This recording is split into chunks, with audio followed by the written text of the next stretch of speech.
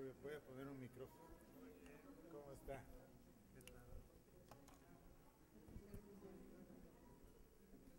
¿Este es para la, la toma o para el...? Para la toma. Y no tenemos micrófono. Ah, yo creo que tengo.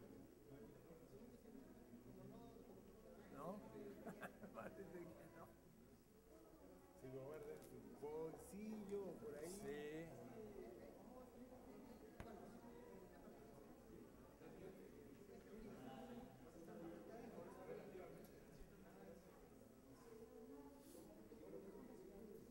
Bueno, ¿se escucha?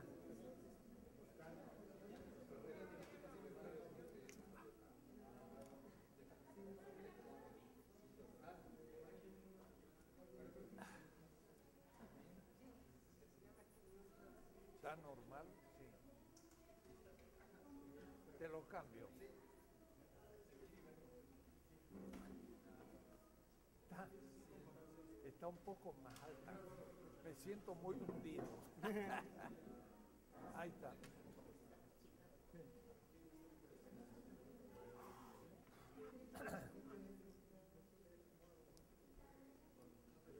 Bueno, parece que todavía no hay micrófono, ya vendrá enseguida,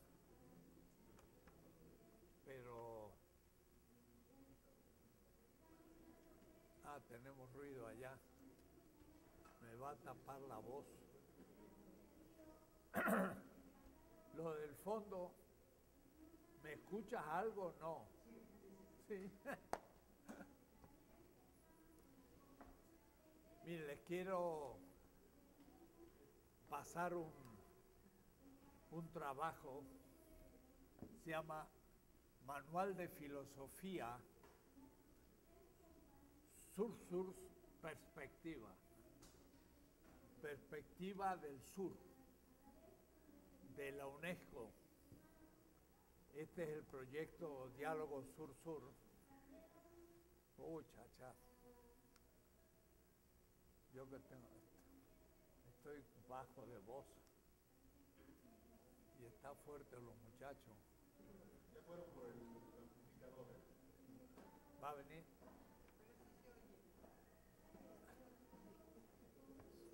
Los voy a pasar porque esto fue dos encuentros que hicimos.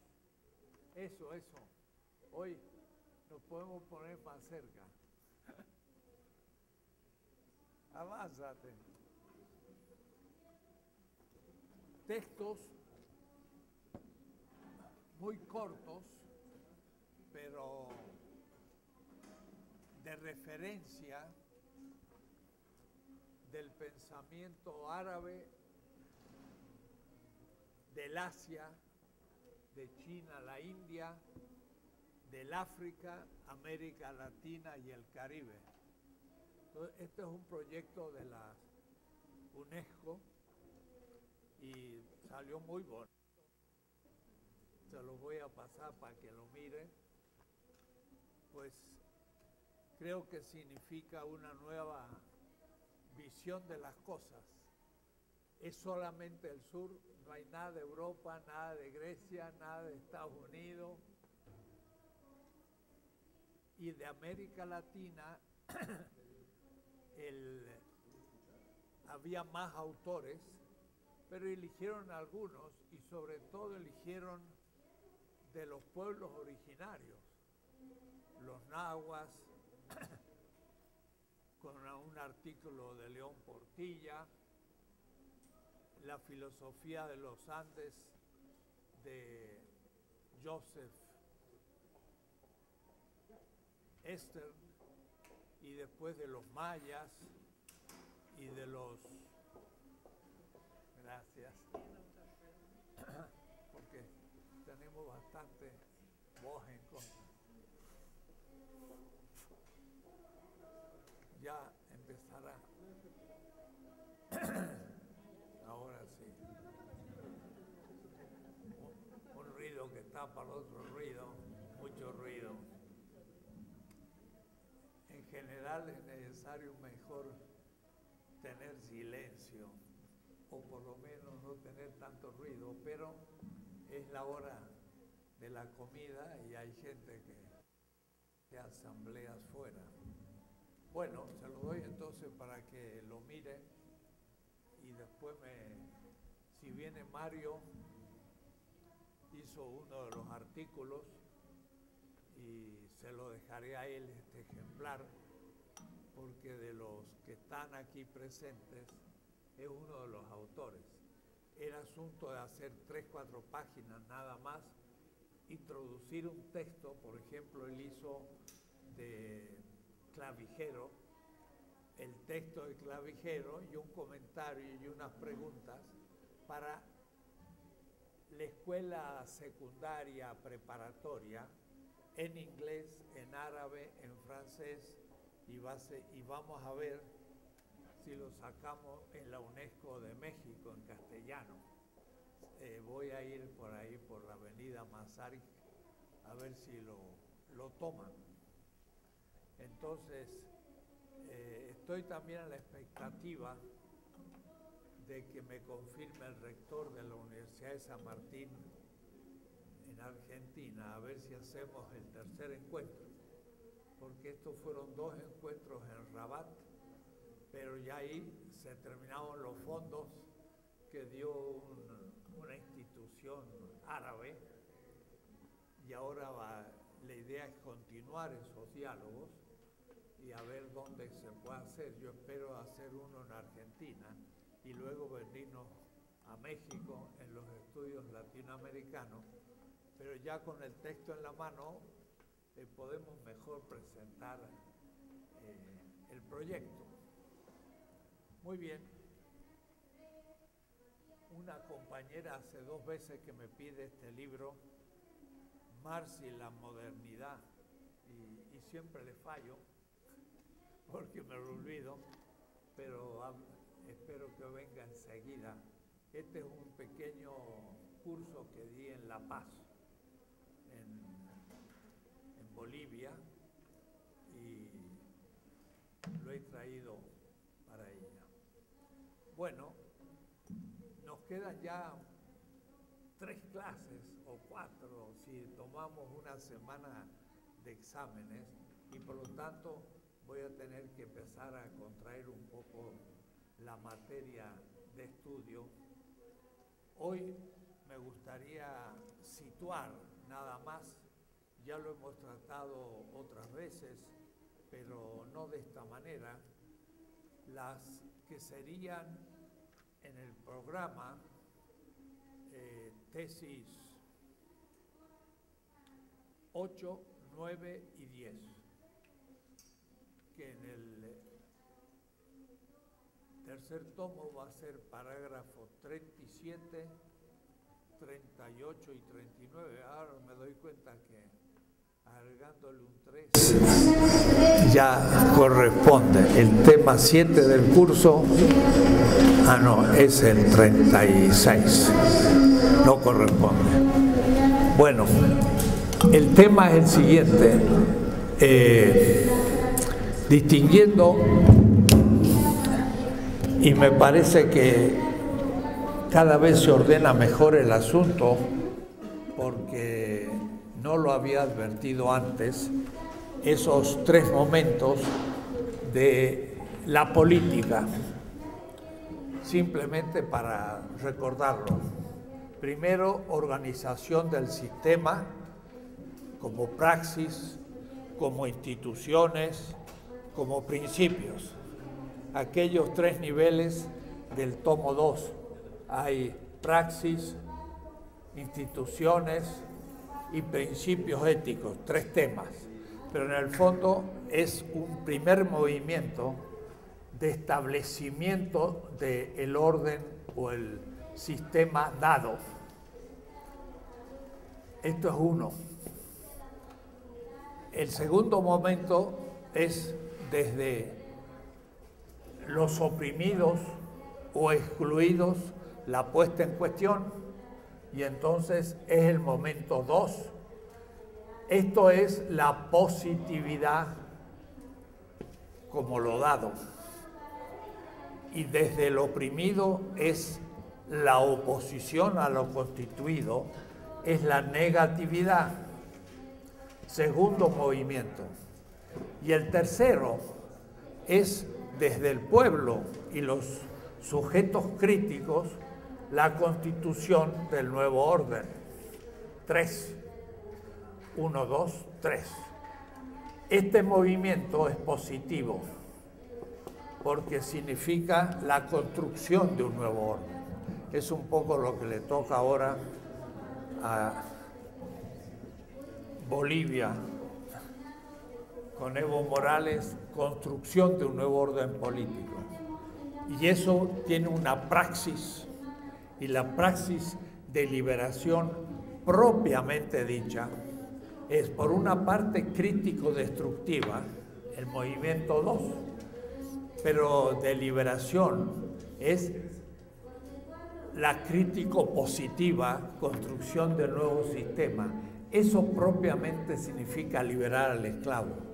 El esclavo rompe las cadenas, pero ahora debe construir un nuevo hogar, un nuevo sistema. Eso ya lo tratamos un poco en la clase anterior, es en la tesis 7 del curso, como la positividad, el pueblo como actor político, el capítulo 5, y los principios normativos, creativos o positivos. Esto es lo que quiero tratar hoy. Entonces, el nivel A es praxis de liberación.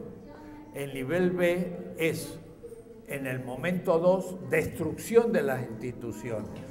Pero en el momento positivo, construcción de las nuevas instituciones. Puedo decir que aquí también hay un A, que es la praxis de liberación. Hay un B, lo vamos a poner A prima, hay un B que son las nuevas instituciones de, la política, y un C, que son los nuevos principios normativos que mueven a la construcción, pero no son los principios negativos que me dicen debo criticar el sistema, debo hasta arriesgar mi vida para cambiar las cosas. Esto es lo que valió para Hidalgo y en eso fue su vida se quedó, diríamos, en el momento 2. Y eh, recordando Nuevo Hidalgo, hasta me había olvidado, pero en una clase de ayer me volví a tomar conciencia. Hidalgo es un caso espectacular, porque no solamente lo mataron, sino que le cortaron la cabeza y lo expusieron en público durante un tiempo. Eso me hace acordar también en las guerras campesinas de Alemania. También los anabatistas que se llamaban fueron condenados a muerte. Y en eh, una iglesia de San Lorenzo, se llama en Münster, en Alemania, hay unas jaulas en la, en la torre de una iglesia, en la cuya jaula pusieron los cadáveres de los anabatistas muertos, que eran los campesinos que hicieron revoluciones campesinas, de las cuales habla también Marx y tan mal Lutero, porque Lutero va a justificar a los príncipes y va a criticar a muerte a los campesinos diciendo que es el caos y es el desorden. Entonces miren qué cosa notable. Lutero, que va a ser el gran crítico de la cristiandad y va a proponer una reforma en el pensamiento cristiano, sin embargo políticamente no entendió las guerras campesinas que se hacían con la misma Biblia que Lutero había traducido al alemán. Porque eh, Lutero traduce la Biblia en alemán para que la gente pueda leerla. Y los anabatistas leyeron la Biblia y dijeron, nos levantamos contra los señores feudales y entonces Lutero, pucha, está fuerte hoy. ¿Qué hacemos? ¿Lo soportamos? ¿Será por mucho tiempo?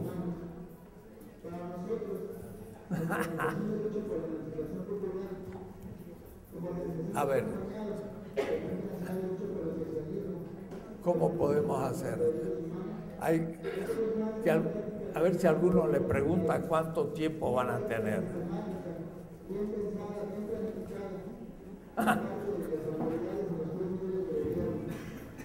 Porque claro, la verdad es que no es hora de clase. Entonces, no le podemos pedir que se retiren. Bueno, miren cómo en este proceso crítico a veces no se entienden otros actores también críticos.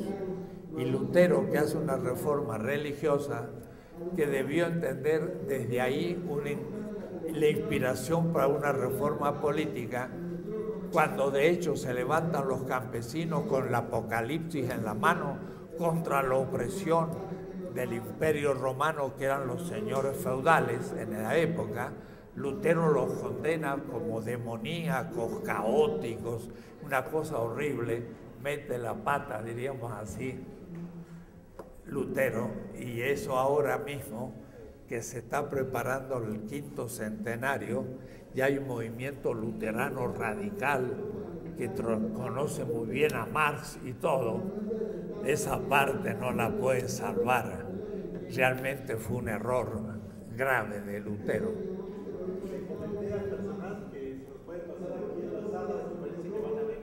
Sí, pero lo que nos pasa es que es más pequeña y ¿qué dicen? Un ratito. Bueno, soportamos un ratito. ¿Sí? 15 minutos, voy a saber. Las asambleas o las reuniones se hacen siempre más largas, pero me cuesta más concentrarme. El silencio es un poco necesario. Bueno, el momento 2 entonces es el momento crítico, destructivo, y en ello se va la vida de muchos. Sería el momento mesiánico de Walter Benjamin, el tiempo ahora. Pero lo que sigue ya no están trabajados ni por Levinas, ni por Walter Benjamin, ni por muchos, que significa la construcción del orden nuevo. Y la construcción del orden nuevo no, no es tan transparente y es mucho más complejo porque entramos en la política cotidiana de cómo hacer posible la creación de nuevas instituciones. Además, no es fácil idearlas. Me tocó ayer, anteayer, dar una conferencia a unos 20 miembros de la Asamblea del Distrito Federal, políticos, gente elegida, muchos de ellos militantes, sin demasiada formación, que han sido elegidos por gente honesta. Y ahora entonces, ¿cómo se hace para transformar el Distrito Federal, siendo que no tienen mayoría? Entonces, allí viene eh, todo este aspecto de la creatividad. Pero yo pienso que en este caso hay que empezar hablando de los principios normativos primero porque el que se compromete en la construcción del orden nuevo, que puede fracasar y que puede no tener la inteligencia práctica suficiente para un éxito, comparan ustedes Evo Morales y Hugo Chávez. Son muy distintos. Claro, la situación nacional también muy distinto. El pueblo muy distinto. Pero el éxito que va logrando Evo Morales y las dificultades que tuvo Hugo Chávez aún antes de su muerte prematura y que se multiplican en el caso de Maduro, porque no tiene tanto carisma o liderazgo como Hugo Chávez, pero además porque hay un desgaste de un proceso en el que construyendo el nuevo sistema, a veces uno aspira mucho más de lo que puede y de pronto se marca proyectos inalcanzables que también producen en, los mismos seguidores problemas porque no logran el éxito esperado. Es toda la tarea del momento 3, que es construir el nuevo orden. Y por eso que ahí hay metáforas, metáforas como caminando por el desierto, de pronto el pueblo empieza a adorar un fetiche, queriendo en cierta manera volver hacia Egipto y instalarse ya en el nuevo orden, siendo que el proceso no ha terminado, ni mucho menos va en camino. Entonces, eso es también eh, aquel, como le llamaban, siervo de oro o el cal, como le dicen, eh, el becerro de oro. El becerro de oro es querer ya tocar con las manos el cumplimiento de algo, pero que no es tan fácil y que exige mucho tiempo. De ahí que habrá que prestar un poco de atención a cuáles son los principios que deben guiar desde un punto de vista material, formal y de factibilidad la construcción del nuevo orden, que ahora sí ya es político en toda su complejidad, porque la negación del sistema opresor es muy claro y en realidad no hay todavía un proyecto, lo que hay más bien un juicio negativo de lo existente. El capital de Marx no es un gran tomo de 700 páginas sobre el orden que vendrá después del capitalismo. Es la crítica del capital. Y eso es muy claro y puede ser muy bien anunciado. Ahora, ¿cómo se construye el próximo sistema? ¿Y cómo, cuál será su contenido? Marx tenía sobre eso algunos aspectos muy generales cuando decía, imaginémonos una vez más una asociación de hombres libres que, y dicen algunas cosas, y dice, imaginémonos, ni siquiera la imaginación responsable y creadora del nuevo orden, sino una imaginación antes de la destrucción del actual sistema. O es decir, es como cuando nosotros diríamos ahora también todavía, imaginémonos un grupo de trabajadores en una empresa no ya bajo el régimen del capital. ¿Cómo podría ser? Pero estamos todavía en el régimen del capital. Marx estaba mucho más, porque estaba en el inicio mismo del entusiasmo del capitalismo. Entonces la crítica que él hacía era puramente negativa y no constructiva. Marx no dice cómo hacer una cooperativa y tener una experiencia acerca de eso, de ninguna manera. Apenas si la comuna de París fue para él un abrirse la posibilidad de un nuevo orden político que no había imaginado antes, pero fue una rebelión rápidamente aplastada, o es decir, estaba en el momento 2, estaba destruyendo el sistema e intentando hacer algo, fue tronchado, nunca entró al 3, al momento constructivo. Y eso es lo que se necesita, porque nuestros líderes políticos es también hacer la crítica, pero después tienen que tener luz para gobernar en la construcción del nuevo orden. Y ahí hay que tener una visión positiva de la política, del poder y de las instituciones para poder construirlas. Y eso es lo que falta ahora como teoría.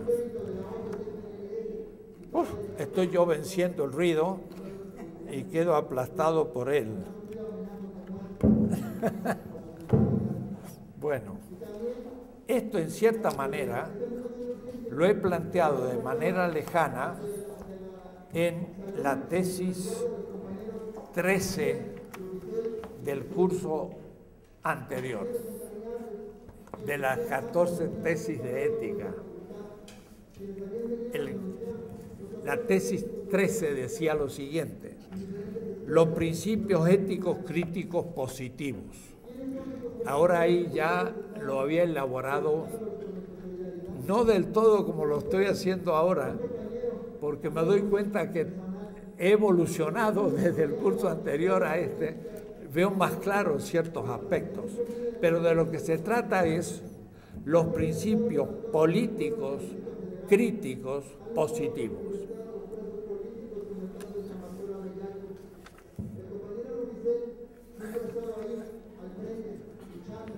Tengo problemas hoy.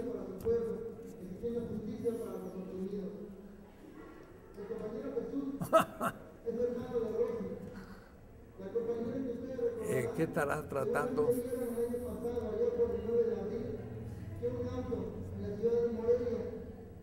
Este problema de la universidad. Por ahí la militancia está en contra de la esencia.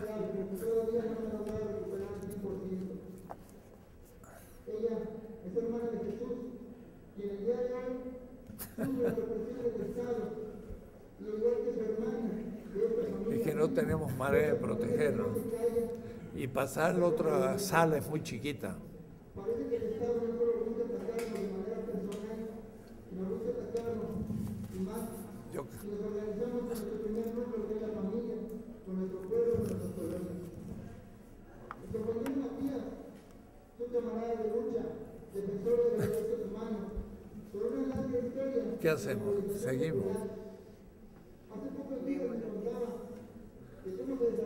Jorge Alberto.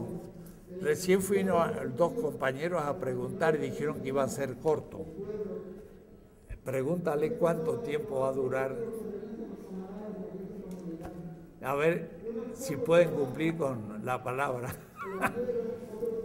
y hacemos una, un recreo hasta que terminen. Porque hoy nos han puesto, ¡pum!, el altoparlante para aquí. Bueno, pero voy a de todas maneras no sé si ustedes son capaces de escuchar dos cosas al mismo tiempo.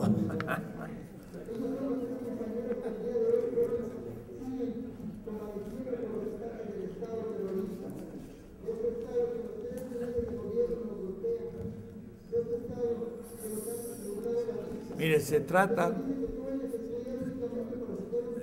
de principios normativos, o es decir, exigencias del sujeto que se compromete, fruto de la conciencia ético-política. ¿Qué es lo que le hizo a Hidalgo? Claro que es distinto. En este caso tendríamos que preguntar qué es lo que le hizo a Juárez, ya no es Hidalgo, significa el constructor de un orden. ¿no? Alguien que... ¿Cómo? Diez minutos. Hace diez minutos dijeron eso. Puede decir que puede ser infinito. A partir de cualquier momento, diez minutos más.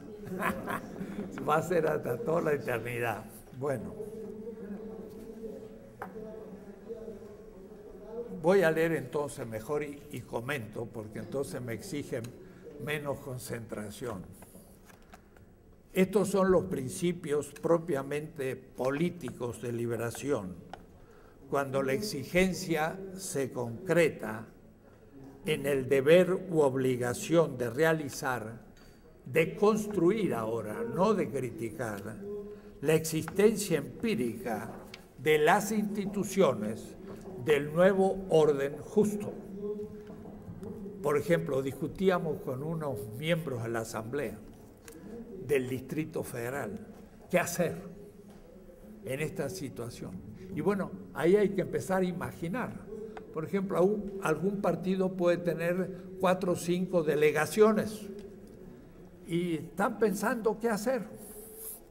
Pero esas cuatro o cinco delegaciones podrían ser pensadas como ejemplo de lo que podría ser todo el Distrito Federal y el país. Entonces hay que imaginarlo. Y si lo esencial en este momento del país es la participación de la gente, entonces, por ejemplo, en una delegación, yo puedo construir instituciones que después se generalicen, pero hay que tener imaginación creadora. ¿Y cómo, por ejemplo? Decir, mire, yo tengo un presupuesto de la delegación, no lo voy a usar como delegado, sino que vamos a discutir en los consejos barriales el modo de las prioridades y el uso de los recursos totalmente. Y entonces los que participen en sus consejos barriales y lleguen a conclusiones recibirán fondos para realización. Y donde no haya participación, no recibirán fondos. El primer año participará el 20% de la gente.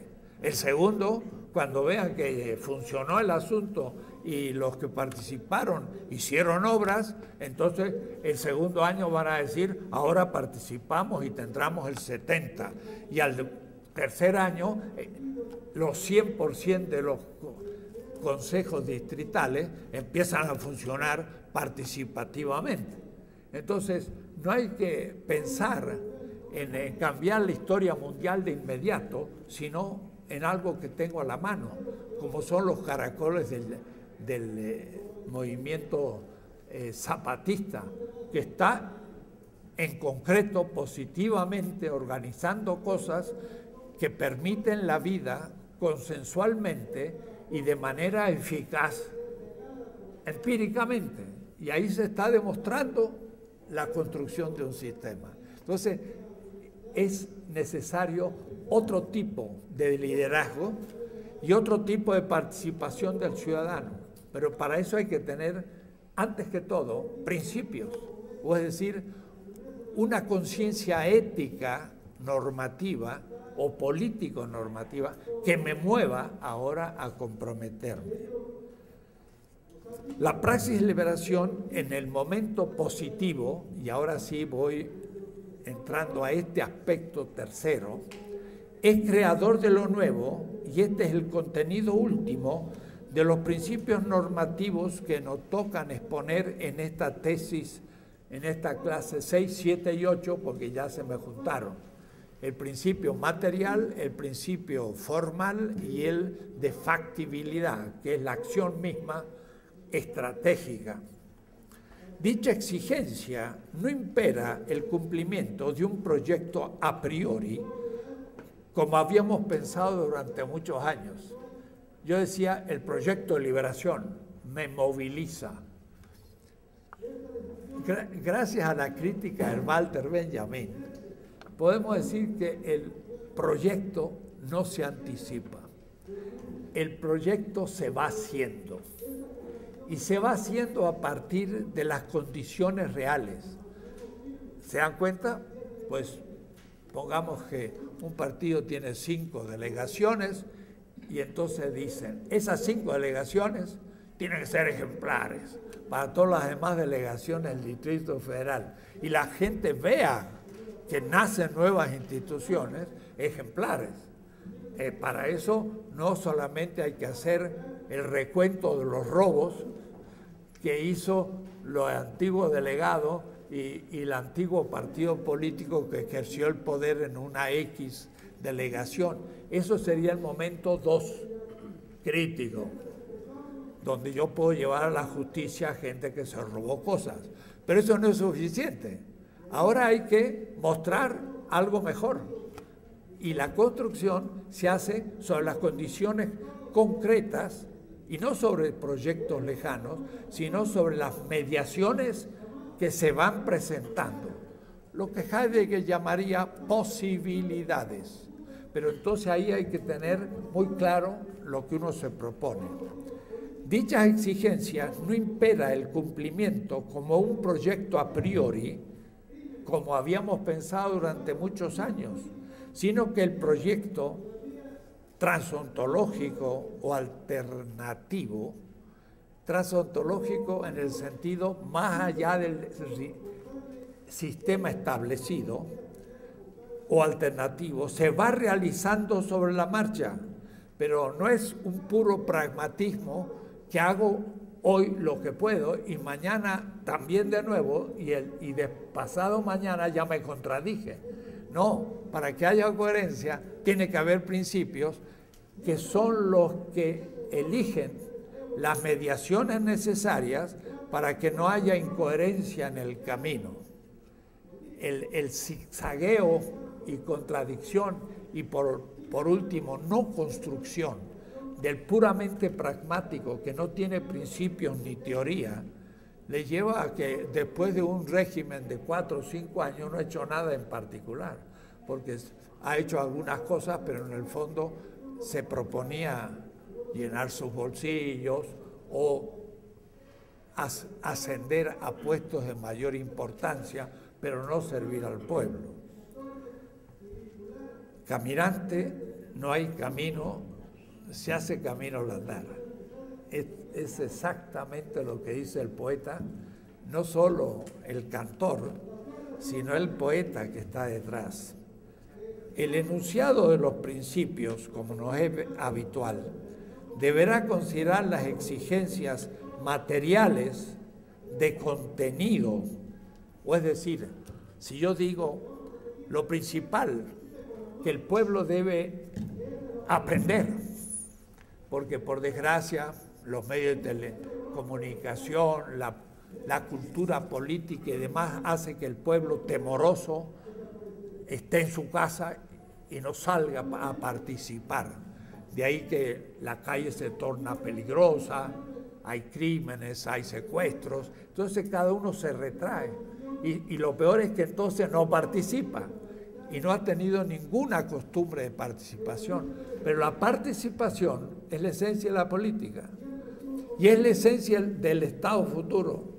Si el ciudadano no participa, pues sigue siendo la concepción liberal de elegir el representante el que con autonomía absoluta empieza entre ellos a decidir todo lo que pasa en la sociedad y haya ruptura entre el representante y el representado. Es la crisis de la representación en todo el mundo. Entonces, ¿cómo se subsana?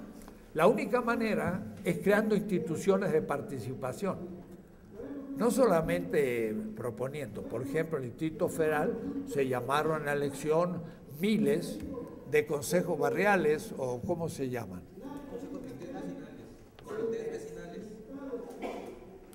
Pero enseguida se dice, se politizaron. ¿Qué significó?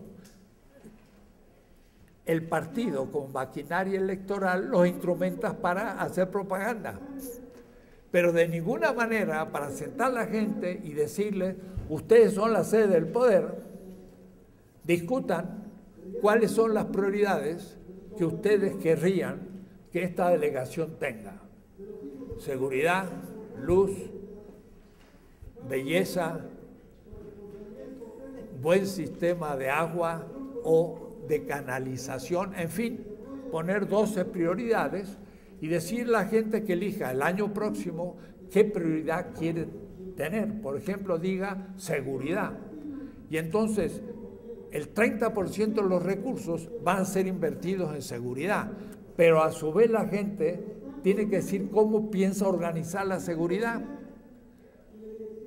Y no sería imposible, aún en el Distrito Federal, pensar no en autodefensas, pero participación del ciudadano en su defensa, alarmas eh, barriales, rondines de los ciudadanos y mil cosas que se pueden inventar donde la gente estaría muy dispuesta a participar porque eso eliminaría una cantidad de problemas que hay. Igual sobre la iluminación o sobre la distribución del agua. El otro día me dice un alumno en mi barrio, allá en Iztapalapa, pues eh, durante tres meses van a cortar el agua porque tienen que hacer una obra X. Ni informan lo que pasa, ni la gente sabe. Entonces, ¿qué es lo que hay que hacer? Es la gente la que debe decir si se hace o no se hace eso, pero en coordinación con todos los demás. Entonces, pensar cómo ir construyendo por las mediaciones que se presentan primero, las exigencias materiales que son de la vida, Y, esos son comer, beber, tener eh, vestido, casa, cultura. Bueno, hay que ver qué se elige como prioridad. Y luego las formales o del sistema de legitimación. Y eso es justamente el tema de la participación. La participación es el modo, la forma como se llega a las decisiones políticas. ¿Cómo se hace? Que la gente sugiera y el delegado después toma la decisión o que la gente se organice, discuta y por asambleas de primer grado, segundo y tercero, decida en qué va a usar esos fondos y el delegado a su disposición administra la cosa. Es muy distinto. O es decir, una cosa es ejercer el poder como autoridad y otra cosa es el poder obediencial. Y lo que pasa es que dicen, ¿cómo se ejerce el poder obediencial? Pues hay que organizar la participación para que la gente pueda discutir y entonces obligar al representante a hacer cosas. Porque si yo quiero hacer una encuestita y preguntar a la gente lo que quiere que yo haga, pues después yo hago lo que quiero, porque elijo también entre los que me dijo cualquier cosa. Otra cosa es que ellos lo hagan por participación. Y entonces eso mismo se transforma en una estrategia de la construcción de las nuevas instituciones. Todo eso es una acción creadora y no cualquiera sirve para eso. A veces el teórico y el crítico es muy claro, pero es imprudente. No sabe. No sabe comunicar, no sabe entusiasmar, no sabe rodearse de colaboradores porque no tiene suficiente visión prudencial sobre la conducta de sus subordinados, ya la palabra es mala, de sus colaboradores.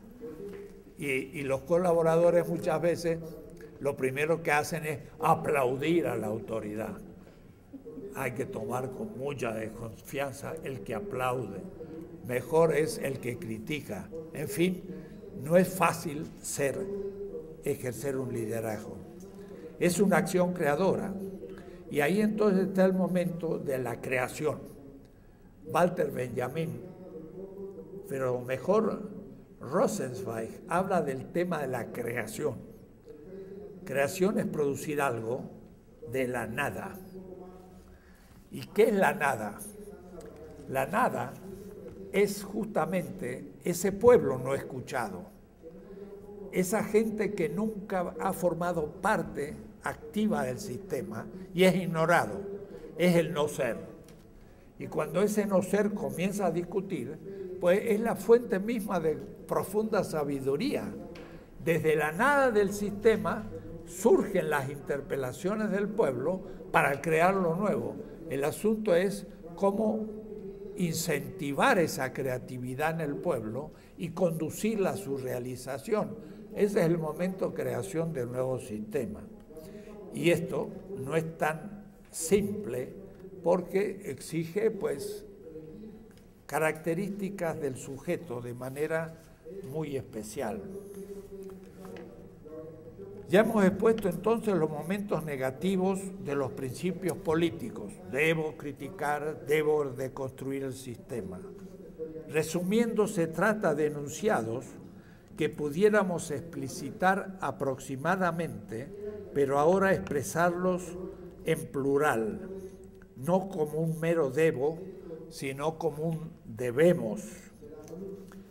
En primer momento, el principio se describiría de este modo. Debemos, como exigencia política, criticar el sistema vigente, injusto, etc.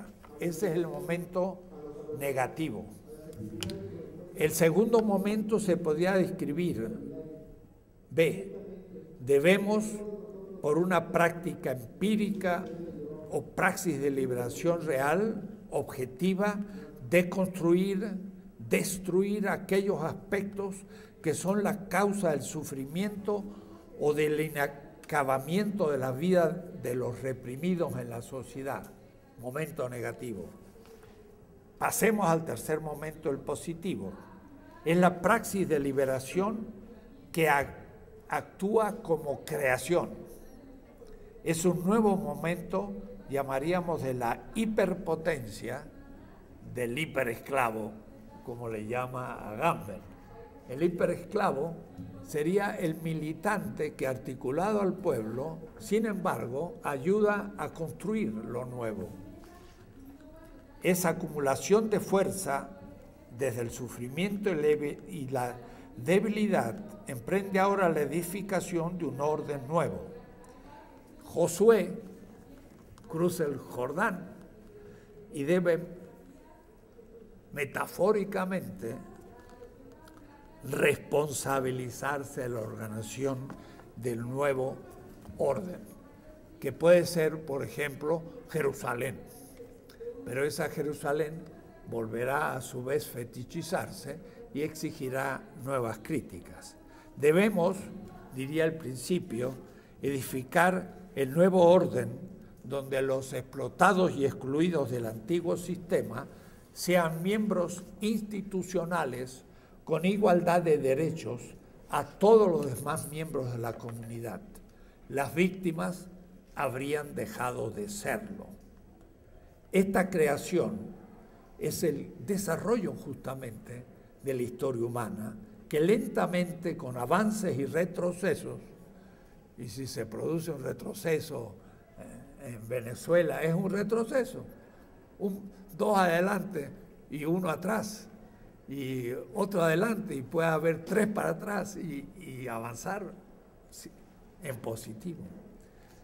Lo político por excelencia es justamente aquello de satisfacer las necesidades primero materiales, pero al mismo tiempo por la participación, o es decir, por el modo como esas realizaciones concretas se van a realizar. Entonces, algunas ideas sobre el principio material crítico positivo, el principio formal crítico positivo y el principio de factibilidad positivo. Para dar de comer al hambriento, que me interpela, en la ética de Levinas, es necesario antes producir el alimento. Y entonces eso es el nuevo orden. Para que no dar de comer solo una vez, sino poder dar de comer sistemáticamente. Es decir, hay que cambiar las estructuras y las instituciones, por ejemplo, agrícolas, desde donde gracias a una política de autodeterminación en la organización de la producción del campo, el pueblo pueda comer mejor sistemáticamente. Esto comienza por una transformación de las estructuras mismas del Estado y sistema económico capitalista. Como se supone, la política no termina en la transformación subjetiva de la recepción pasiva de una interpelación, como el gatillar que anuncia el disparo del arma, del arma, sino que culmina en la transformación objetiva, gracias a la cual puede brindar cotidianamente el alimento al viviente hambriento. Estamos ipso facto inmersos no en una lucha, el reconocimiento como dice Honet, que me reconozcan, porque si no me reconocen, ¿qué hago? Sino, y no solo tampoco de un asumir la responsabilidad por el otro, como Levinas, ni en la mera aventura del cambio radical revolucionario que nos permite superar un aburrido repetir lo mismo tradicional del sistema dejado atrás que a veces a algunos les gusta la revolución, aunque sea como tema, porque ya están aburridos de la situación, y lo cual es obvio, pero la revolución no es algo aventurero. Ahora se trata del largo trayecto ambiguo por el desierto, durante el cual no solo la valentía es necesario, sino también la prudencia, el realismo crítico que va creando el camino inexistente en el caminar mismo. Es como les digo, cómo organizar hoy en el Distrito Federal una delegación ejemplar que rompa las estructuras y que los demás digan, ah, nosotros queremos igual en las otras delegaciones donde no se cumplen esas consignas. Y eso se pueda generalizar en un país. Nadie tiene que pensar que soy muy pequeño y lo que hago, pues, no tiene ningún sentido porque la maquinaria es gigantesca. Hacer bien algo concreto que nos toca rompe muchas cosas y se puede generalizar. No es ya una interpretación del hambre del otro como principio motor de una efectiva transformación de la realidad. Es ahora la hora de la praxis liberación en acto final como esencia del ejercicio. Hay que crear lo nuevo para el otro. Es por eso una transformación. Se trata del nivel material, primero, de las mediaciones que permiten afirmar y hacer crecer cualitativamente la vida de las víctimas, en principio oprimidas. Es el contenido crítico de la política, pero ahora como transformación.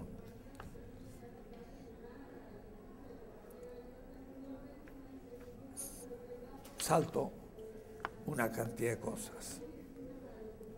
Pareciera que la moral helénica, las virtudes, por ejemplo, la aristotélica, es más espiritual, más digna, superior, que eso de comer, beber, vestir y tener una casa. Parece poco filosófico, poco político, poco humanístico, burdo, propio de las masas incultas, de los esclavos y de los siervos. Sin embargo, lo que nos están indicando es que lo más sagrado por excelencia, la fuente de toda justificación de lo político, es la vida humana misterio no revelado todavía por la ciencia y punto de partida de la acción.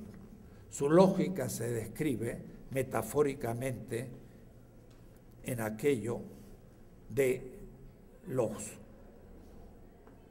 padres de Ayotzinapa que dicen hemos perdido todo, aún el miedo, y por eso pueden comenzar a transformar. Por ello, el principio material crítico podría describirse así, aquello que mueve antes de la acción, a la acción. Debemos afirmar y operar el crecimiento de la vida de las víctimas, de los oprimidos y excluidos, de los negados, de los ignorados del sistema,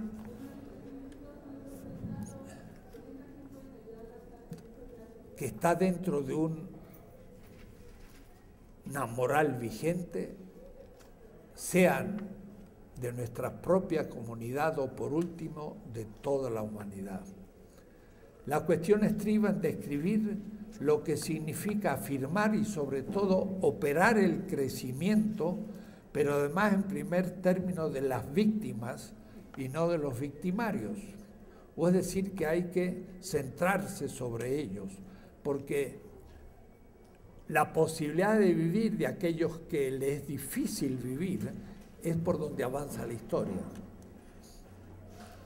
La política como crítica afirma y se ocupa de hacer crecer a las víctimas, no a los no, a los no miembros plenos del sistema, a los que sufren. Y sin embargo, los, lo construyen diariamente con sus manos y con la objetivación de su vida. La exigencia última material de la política es la vida humana, como lo hemos dicho tantas veces. Es la única fuente universal y principio primero de la racionalidad. En el capitalismo la racionalidad se mide por la capacidad que un juicio o una teoría tenga de aumentar la tasa de ganancia y la competencia del mercado. En una política de la liberación, por el contrario, la medida es la afirmación y el crecimiento de la vida de las víctimas. Y por eso hay que pensar imaginativamente cómo puedan salir de su pobreza, de su situación de injusticia presente. E, es un principio político a priori que mueve todas las elecciones como mediaciones. El principio formal crítico positivo creativo. Me he estado refiriendo de alguna manera a él. Este principio formal o la manera como se decide la afirmación y crecimiento de la vida de las víctimas, o decir, que funda mis decisiones, supone lo que dice Apple y Habermas, pero lo subsume y los lleva más adelante en nuevas conclusiones. Para ambos filósofos frankfurtianos, que catalogo de formalistas, la política se, agota en la exigencia de que los participantes de la argumentación tengan posibilidades simétricas y lleguen a las conclusiones prácticas, en nuestro caso política sin violencia, solo por la fuerza de la convicción que justifique y valida el uso de esa razón discursiva. Dicho consenso acuerdo se impone a la comunidad de comunicación como lo aceptado por todos. Ahora, en el hecho de la representación tal como lo concibe el liberalismo, la elección se cumple cuando elijo el representante. Y le dejo a él después la, el derecho y la responsabilidad de entrar entonces en una comunidad de comunicación y por argumentos, en el mejor de los casos, casi siempre por negociación de intereses, llegar a una conclusión que como lo ha pensado la comunidad es válido para ella, pero es válido para la comunidad de representantes y hay que preguntarse si ya es válido para la comunidad del pueblo que eligió esos representantes, que está muy lejos ya de esa situación. Por eso lo que me mueve a pensar más y más es que este tema de la participación es la esencia misma del principio formal crítico positivo, porque en tanto que los ciudadanos participen en comunidades reales, entonces estamos llevando a cabo una validación, estamos haciendo que las conclusiones de los debates de ese nivel pueblo-pueblo tenga legitimidad en la base antes que en la representación. Y por eso que miles de consejos barriales que lleguen a ciertas conclusiones, que después debatan por sus representantes hasta llegar a una delegación o al Distrito Federal, eh, sería la realización empírica de este principio que exige todo lo que haga debe tener en último término el consenso de la comunidad que ha participado simétricamente en, esa, en ese consenso. Y por eso entonces eh, hay que crear las instituciones, pero estamos al nivel de los principios. Y los principios es, siempre debo decidir a partir del consenso de los participantes. Y eso puede ser la consigna de, para un delegado, pero también es para un profesor y lo es a todos los niveles de la política. Justamente cuando fui rector de la UACM, dije, todas las decisiones que voy a tomar van a ser por consenso. Y eso eh, no es tan fácil, porque hay veces que eh, hay conflictos y entonces hay que producir discusiones para que se llegue a consenso. Eso, por desgracia, no hace escuela a veces.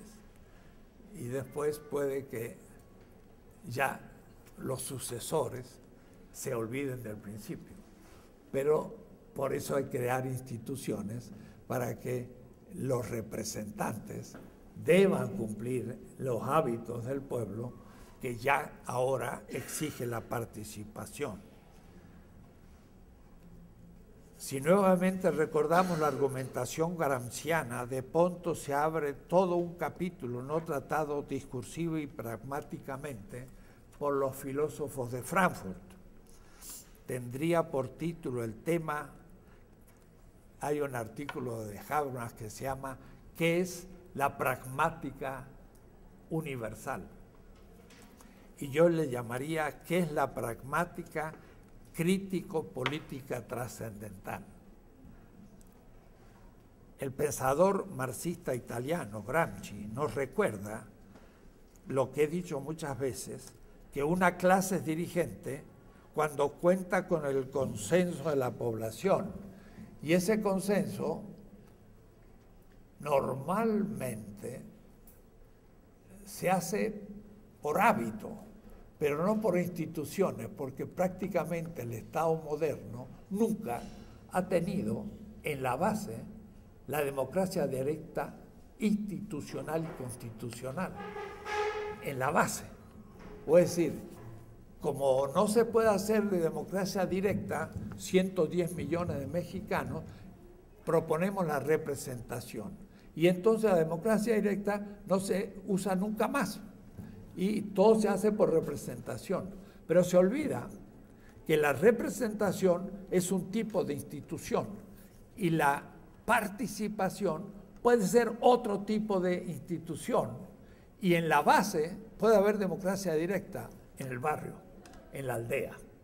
Y entonces tenemos que crear algo nuevo. Y eso nuevo lo podríamos hacer en una delegación del Distrito Federal mañana. O si no hay que esperar un siglo para hacerlo, ya lo podríamos empezar.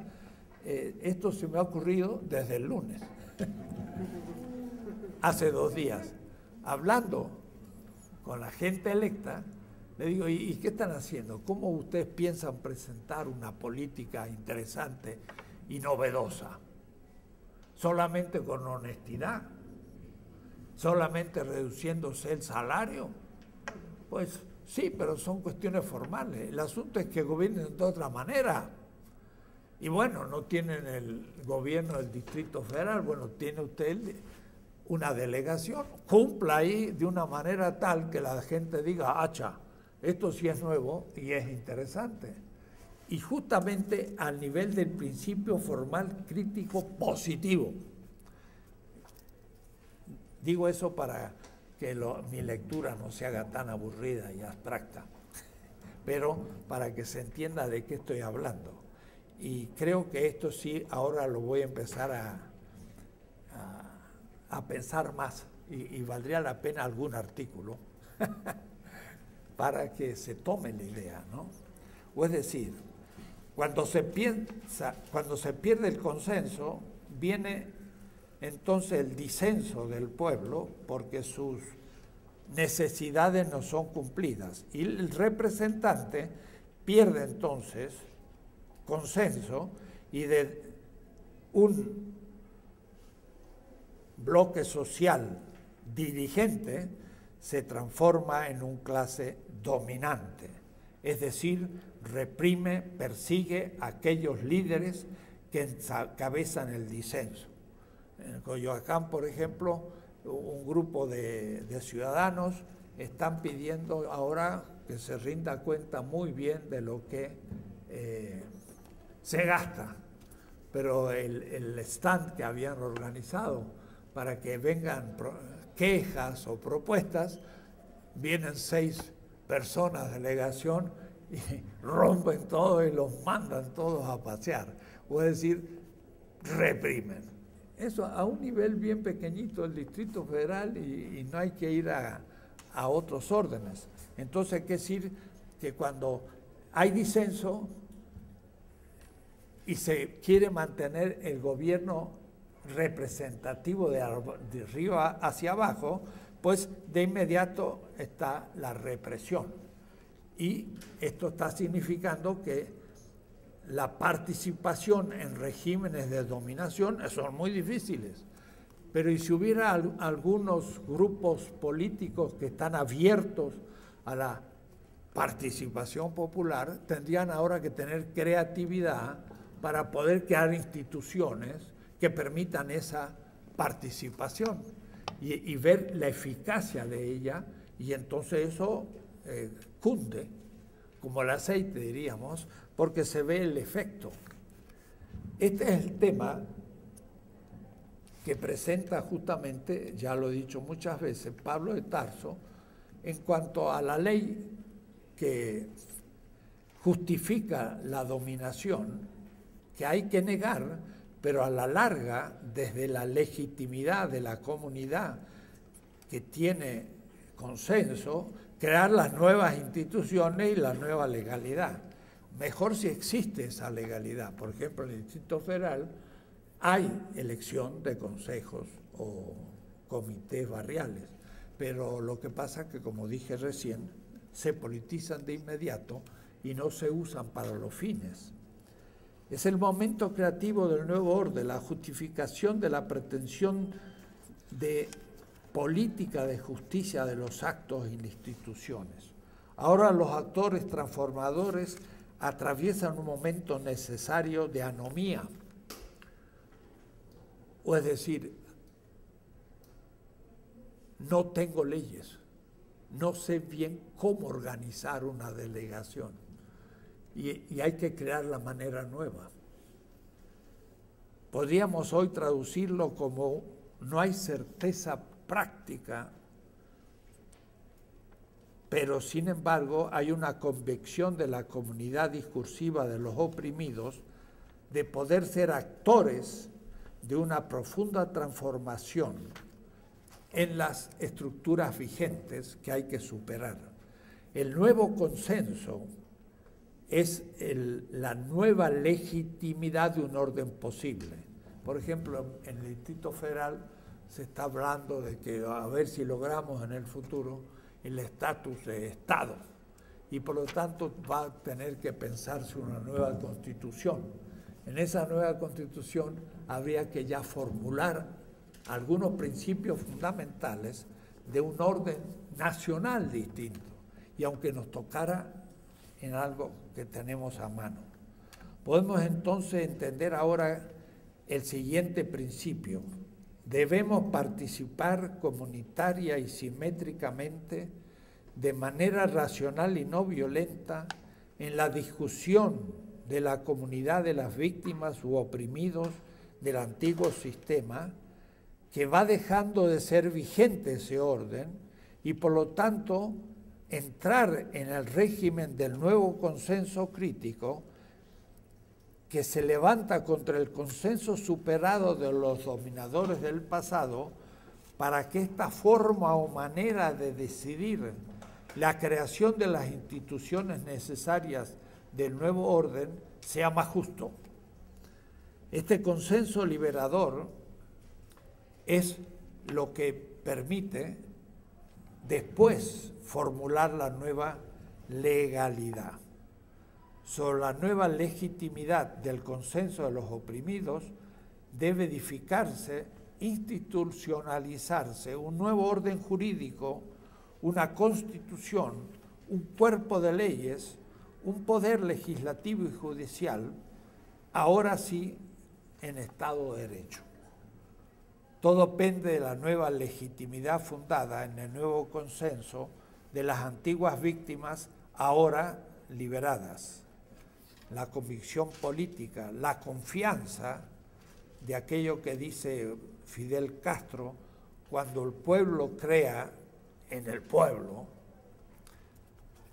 como el consenso crítica a la comunidad de los oprimidos, es el ámbito originario de toda validez política y también de futura legalidad.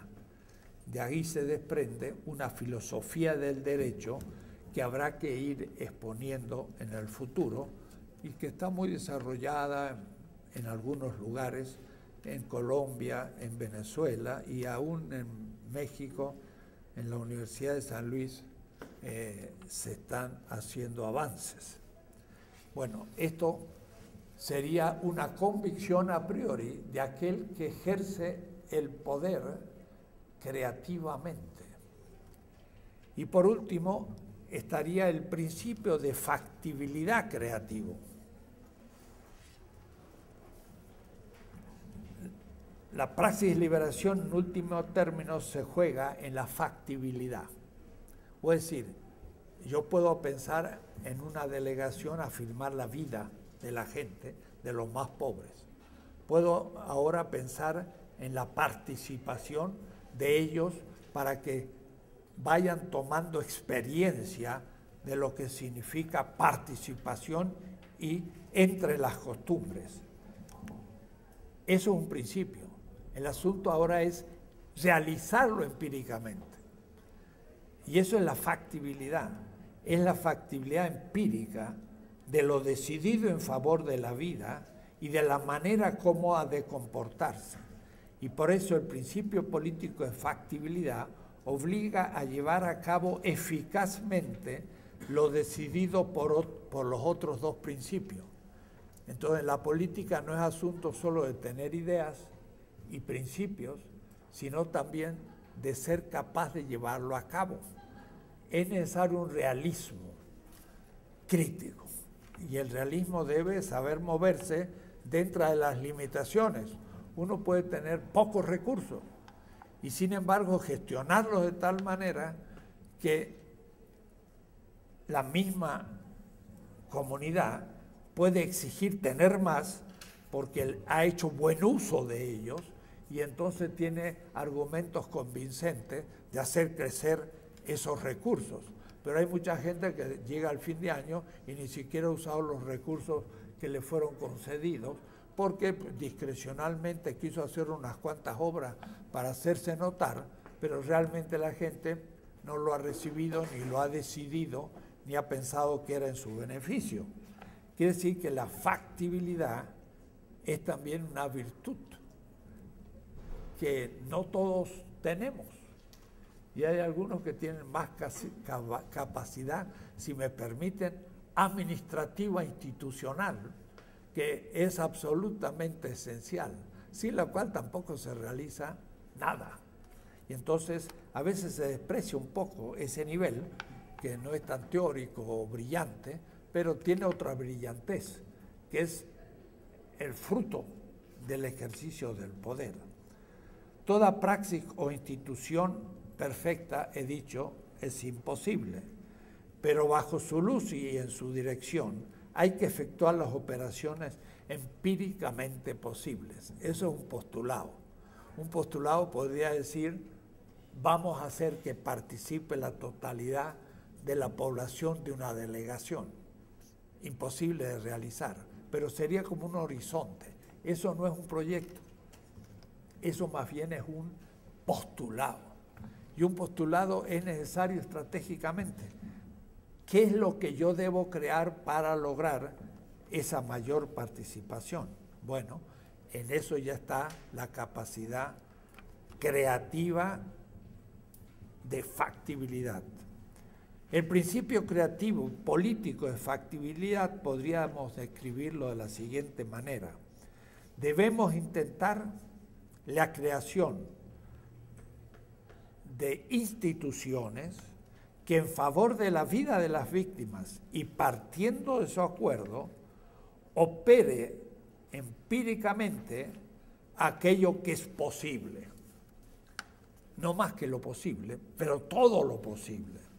Y dando a veces más posibilidades que los que otros sacan de algo, por ejemplo, de recursos posibilidad que como un horizonte se encuentra más acá de las imposibilidades del idealista.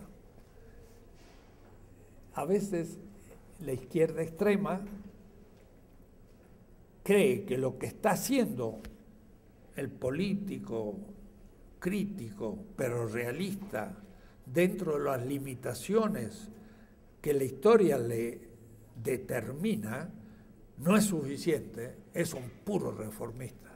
O es decir, Evo Morales, usted no es un revolucionario. ¿Y quién lo dice? La izquierda extrema pero también la derecha extrema, por ejemplo, de los que dicen el Estado mínimo. Entonces, repito, lo factible es la posibilidad que como un horizonte se encuentra más acá de la imposibilidad del idealista. Y el idealista dice, lo que está haciendo usted no es revolucionario, es imposible. Y más allá de la imposibilidad del conservador, que cree que lo único posible es lo actual, pero más allá de lo actual es posible hacer muchas cosas. Entonces, en realidad, los que se oponen al político concreto constructivo son o la extrema izquierda, que querría hacer lo perfecto y por eso no puede hacer nada, o la derecha, que lo que cree que hay que hacer es mantener las instituciones y no cambiarlas. Y en, en medio de ello está la crítica a la razón utópica de Franz Hinkelhammer, que trata ese problema, y debo decir, al mismo Flores Magón, que es un gran personaje ético y que en plena revolución plantea una crítica, piensen, negativa a la revolución. Sin embargo, positivamente no podía ofrecer mucho. Entonces Hinkelhammer toma textos de Flores Magón y le hace una crítica, diciendo, sí, cumple una función en un momento revolucionario, pero eh, como perspectiva política a largo plazo, no funciona. ¿Por qué? Porque hay que crear instituciones concretas posibles. Y si no son posibles, son imposibles. E intentar lo imposible es pegar la cabeza contra la pared y no romper la pared, romper la cabeza, porque esa es la factibilidad. pensar que mi cabeza va a romper la pared, bueno, es el idealista, pero de hecho se le rompe la cabeza. Entonces, hay que operar lo nuevo y lo mejor dentro de los límites de lo posible con principios. Y esos principios son los que dan coherencia a largo plazo, porque la diferencia entre reforma y transformación, Marx usa la palabra veränderung, que es transformar. Reformar es cambiar algo para que en el fondo el sistema sigue, sigue igual. O es decir, para el sistema vigente no se venga abajo, hay que dar algunas manifestaciones de cambio para que vea que se va evolucionando, lo que llamaría Popper la sociedad abierta. Eso es reformismo. Pero transformación es quizás hacer lo mismo que el reformista, pero no para que el orden siga igual, sino para que vaya edificándose las mediaciones para una transformación más radical. Y entonces no es lo mismo transformación que reforma. Y tampoco la oposición de Rosa Luxemburgo, reforma o revolución, indica justo el, tema, porque puede algo no ser reformista, pero tampoco ser en acto revolucionario en el sentido radical, sino transformador de una manera parcial, pero en vista de una transformación radical a largo plazo y por eso hay que tener principios y hay que saber qué se critica, no simplemente pedir más salario al obrero para que pueda vivir mejor también, pero con eso yo no ataco al capital. El capital puede conceder más salario y fortalecerse entonces hay, que saber que no hay que ser iluso, que por un aumento de salario estamos luchando contra el capital. la lucha contra el capital es otra cosa. Y eso es lo que Marx dijo en aquella conferencia la internacional de 1865 sobre salario, trabajo y, capital y ganancia. Le dijo, no haciendo una huelga pidiendo más salario, vamos a luchar contra el capital. Eso sería reformista, mientras que transformador es el que dice, sí, pidamos un aumento de salario para poder vivir, pero la lucha va mucho más profunda y, va algún día a transformar el capital. Entonces, esto es fundamental en la construcción del orden nuevo. Muchas cosas parecen reformistas. En, América Latina, el extractivismo. Se está vendiendo materias primas a bajo costo y entonces se dice, pues estamos en lo mismo de siempre, no hemos avanzado nada. Y en algunos casos no se avanzó nada. Pero en otros casos, vuelvo a repetir el caso de Evo Morales, ah, es otra cosa. Sí, se está en el extractivismo, pero pensando cómo superarlo y ir más allá del capital. A corto plazo, el Estado tiene que sobrevivir y entonces tiene que usar medios que no contradicen en largo plazo, pero pueden ser vistas como reformistas por la extrema izquierda. Entonces, eso es, es la política real. La claridad de la crítica negativa debe dejar lugar para la relativa incertidumbre del tiempo de la construcción de lo nuevo. Maquiavelo en El Príncipe se ocupa de dar consejos a un gobernante nuevo. Y hay dos maneras de leer a Maquiavelo. Algunos que creen que es puramente maquiavélico. Pero si lo leemos más a fondo, Maquiavelo está diciendo cosas que son también políticamente normativas. Él habla de una virtud, no en el sentido aristotélico, pero esa virtud consiste también, y en último término, en advertir los reclamos del pueblo, de los minori, le llama él, de las mayorías. Y dice, cuando el príncipe nuevo se apoya solo en los grupos dominantes, dura poco. Debe en el largo plazo apoyarse en los menores, que era el pueblo, que es la mayoría. Pero en otras veces hay que usar inteligencia para saber defenderse. Entonces, hay dos lecturas de Maquiavelo. Se ocupa de dar consejos a un gobernante nuevo, no uno viejo que ya por tradición ejerce el poder, sino alguien que empieza. Quiere decir que es justo el momento 3 de que estamos hablando.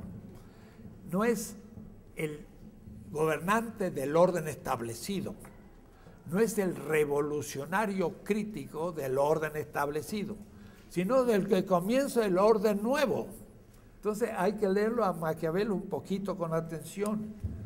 En el caso que fuera normativo y no meramente eficientista, se trataría de un momento político tal como lo estamos tratando.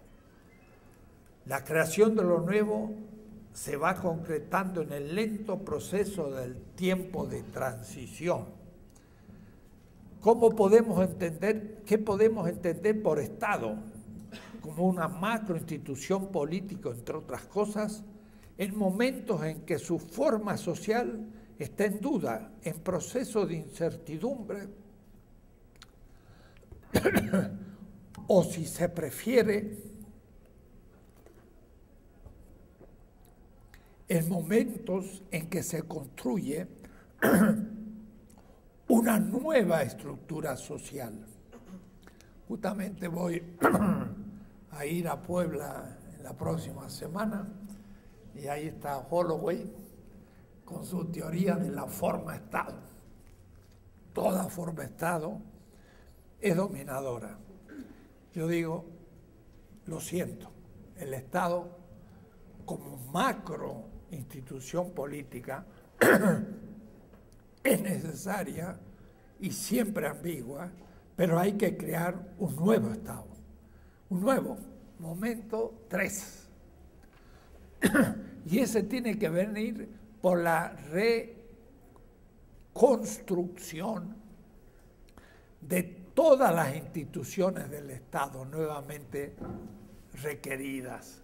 La primera es que todo el Estado moderno y liberal es una democracia representativa.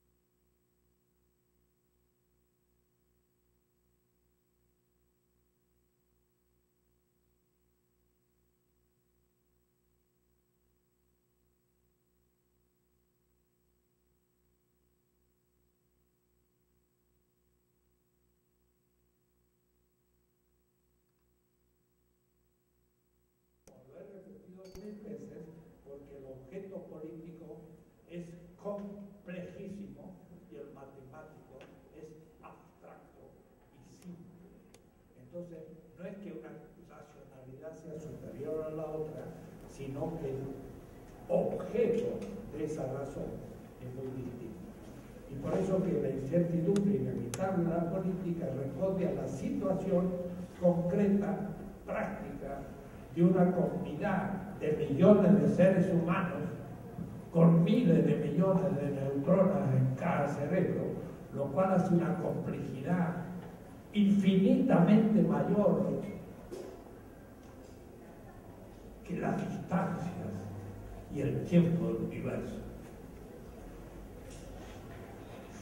El discurso político es incierto, pero tiene sus parámetros, sus principios, pero mucho más complejos y concretos. Por eso García Linera habla con razón de contradicciones inevitables en la política, pero creativas en el campo práctico. Y realmente me acuerdo de una exposición que hizo sobre el Estado García Linera en Venezuela, en Caracas, que estuvo realmente magnífico. Y eso es un marxista que era guerrillero, un tanto idealista, pero siendo ahora vicepresidente, tiene que encarar la realidad. Y no se vuelve un reformista. Acaba de sacar un tomazo que de paso quiero conseguir sobre todos los estudios de Marx, el último Marx, sobre los trabajos antropológicos de Morgan, el problema comunitario, la, la comuna de París, en fin, una cantidad de textos de la China, de Rusia, que estaban muy dispersos y algunos inéditos, y que va a ser un- una visión también de Marx que tenemos que todavía asumir en este Marx comunitario participativo. Las instituciones políticas a crear son imprevisibles a priori. No sabemos cuáles son. Tenemos que ver las que hay en México, en el Distrito Federal, una delegación, y, nunca hubo una igual. Y ahí, ahí hay que crearle, porque cada tiempo tiene sus necesidades y por ellas nuevas instituciones son necesarias a partir de las antiguas y de sus víctimas, que también son distintas. Ahora, suponemos, después de haber hecho la ruptura del sistema antiguo, miembros plenos del nuevo orden, pero al cual no se acostumbran a vivir. Y de ahí, como digo, participar es lo esencial en, un ciudadano de un nuevo orden, pero no está habituado a hacerlo y sigue pidiendo al gobierno que le dé dádivas y no, y no se ha dado cuenta que él tiene que exigirlas. Pero todas ellas, como lo hemos escrito en otros trabajos, son de tres tipos, materiales o directamente afirmación y cre- crecimiento a la vida, formales o sistemas de legitimación que garantizan la cohesión de la comunidad y dan validez a las decisiones como consenso mayoritario y de factibilidad que permite la realización empírica de los otros dos tipos de instituciones. El Estado es la macroinstitución normativa que subsume los principios políticos y los realiza, debería, gracias a la intervención de una razón también instrumental, que la Escuela de Francia de- descarta, pero que hay que subsumir, porque la razón instrumental es la que me da idea cómo se crean las nuevas instituciones, como el artista que hace un cuadro y lo hace por inspiración. El político del mismo tipo de inspiración crea nuevas instituciones, como también lo hace el genio científico que de pronto une dos cadenas argumentativas y hace una nueva invención como Einstein. Entonces, tanto en física como en estética y como en política se necesita esa imaginación creadora, pero también de, de- de instrumentos, puede decir instrumental, que es la que critica la escuela de Frankfurt, si- porque si la tomo como única referencia, no funciona. Pero si la niego, tampoco funciona, porque la necesito para la construcción del nuevo orden. Entonces, por ello Hegel, o antes, el Estado es la macroinstitución normativa que subsume los principios políticos gracias a la intervención de una razón instrumental, imaginaria, cumpliendo las numerosas necesidades y exigencias en todos los niveles de la comunidad. Por ello Hegel lo sacraliza el Estado y le daba el rango de efectuación suprema de la razón, de la sustancia ética por excelencia. No habría que caer en tal estatismo, pero tampoco se lo debe definir como mera institución monopólica del ejercicio de la violencia a la manera de Max Weber, que sería el resultado de una definición del poder como dominación y el Estado como Estado moderno liberal. Corolario entonces de todas esas doctrinas que hemos criticado en su fundamento. Este es el momento propiamente dicho de la política de la liberación en cuanto liberación. Cuando se hace realidad la pretensión de justicia de la política de manera cósmica, cuando cobra forma empírica e histórica el nuevo orden tantas veces soñado de las víctimas, los oprimidos y los excluidos, nunca perfecto, siempre perfecto, inevitablemente, aunque le prolonguemos siglos, en algún momento mostrará su incapacidad autopoyética, diría Niklas Blum, cuando un sistema no puede más crear las respuestas a interpelaciones del medio, se derrumba el sistema. Y eso hay que prolongarlo lo máximo para que el sistema justo continúe por mucho tiempo y tenga internamente los criterios que le permiten una transformación continua. Pero de todas maneras sería tan pensar que habríamos logrado un sistema autorregulativo, crítico, para siempre. Ojalá viviera. No lo digo como Kant también decía,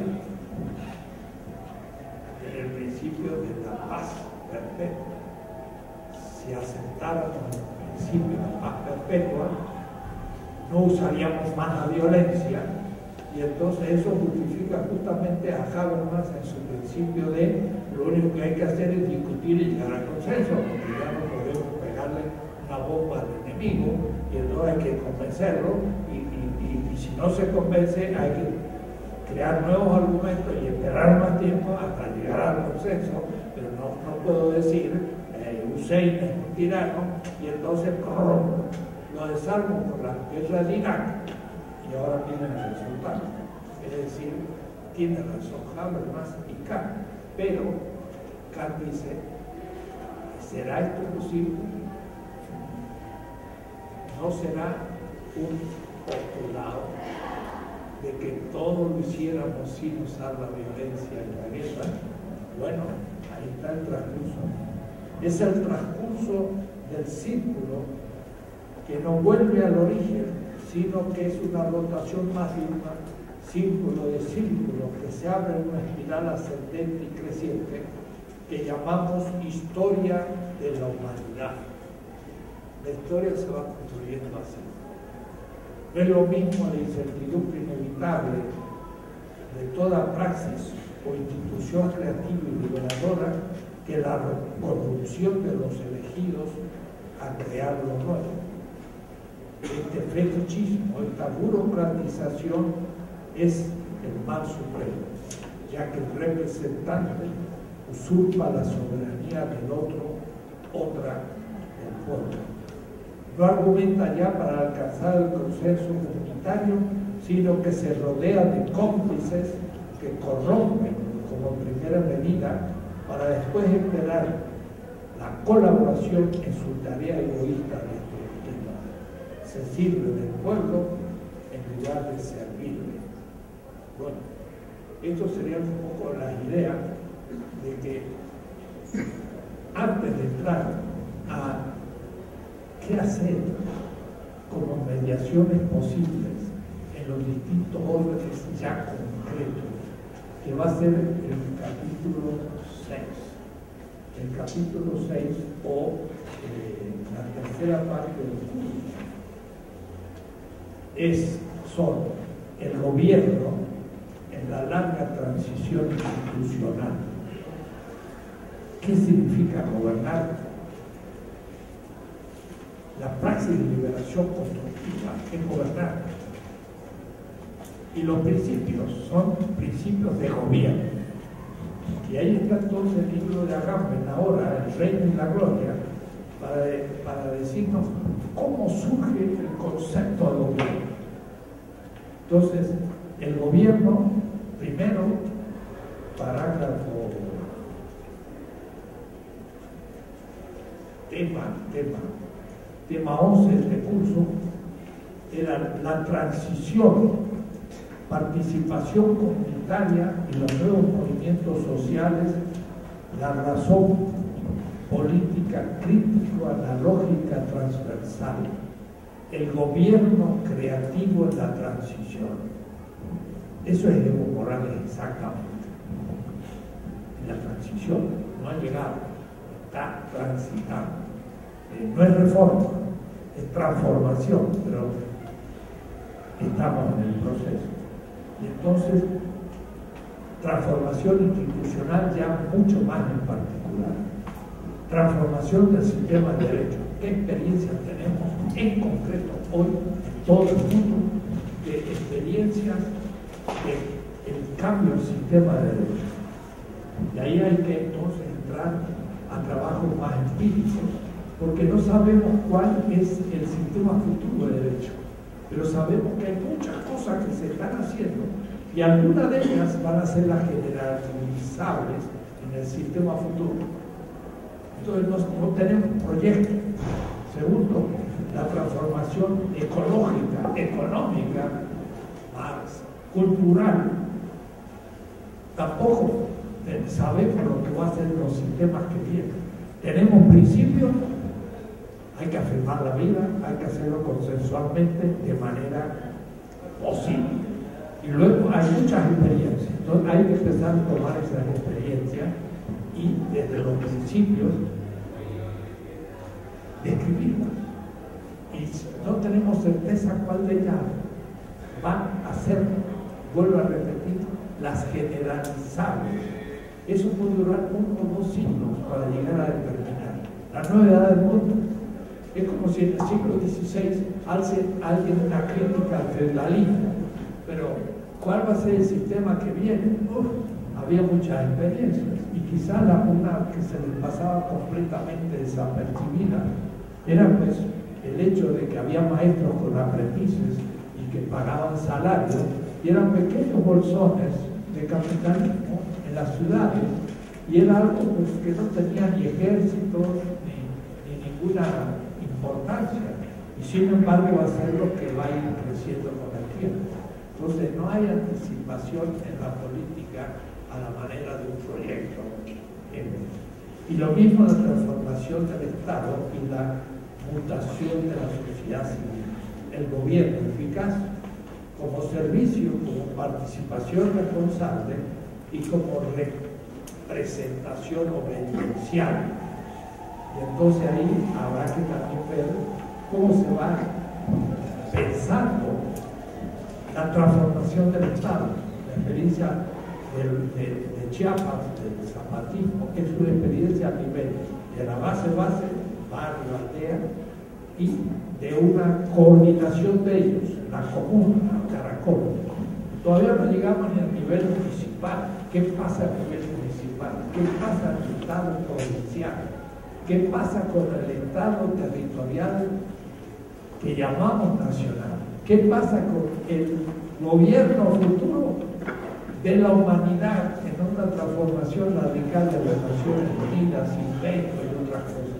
Lo sabemos.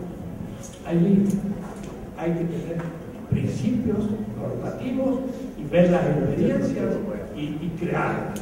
Y entonces abrir la puerta a la praxis. Y, y esto entonces anima al político a lanzarse a nadar.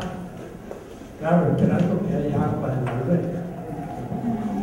Pero hay agua. El asunto es que hay que aprender a nadar, pero hay que tener principios y hay que irlos discutiendo. Creo que eso es la tarea de una política de la liberación. Todas estas categorías que he dado, me gusta que las comparen con otras y vean si hay avance o retroceso. Con el mismo Hobbes, con el mismo Locke, con Habermas, que habla del consenso pero a nivel formal, nada de economía, nada de cultura, nada de esto, nada de lo otro.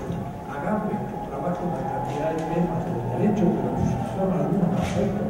El asunto es tener una visión completa, no cerrada, pero sistémica, que es lo que yo intento, para que esto pueda hacerse en una escuela de cuadros, de un partido, de un ciudadano, de un colegio, de una prepa, de la universidad, que se sistematicen todas las materias y podamos tener una claridad la zona.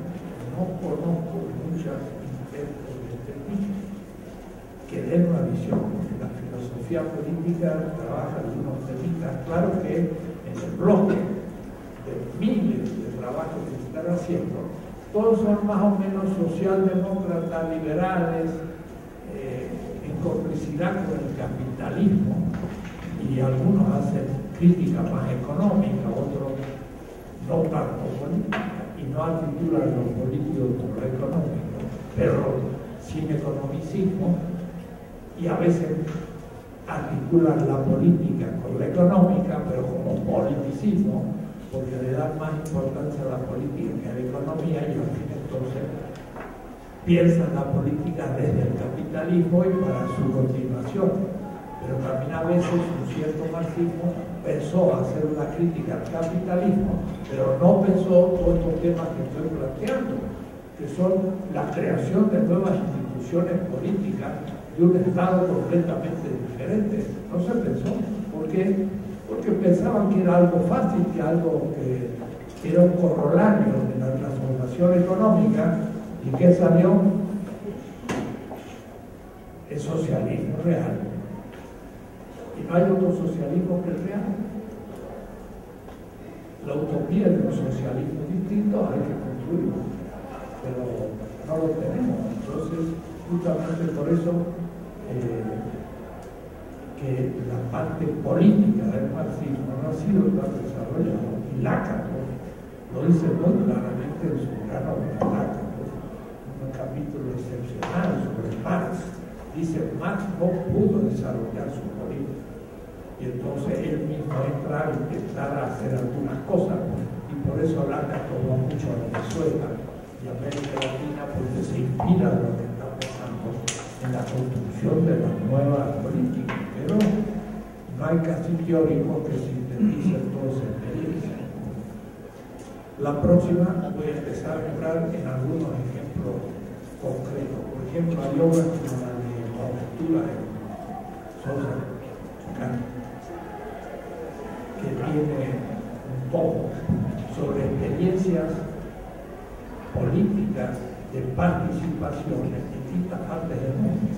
Sobre todo como él se maneja en el mundo portugués, la India es importante, Angola, África y Brasil, y también Europa. Entonces, por su puro portugués, están presentes en las partes del mundo del sur. Entonces, él tiene tomo grande sobre muchísimas experiencias.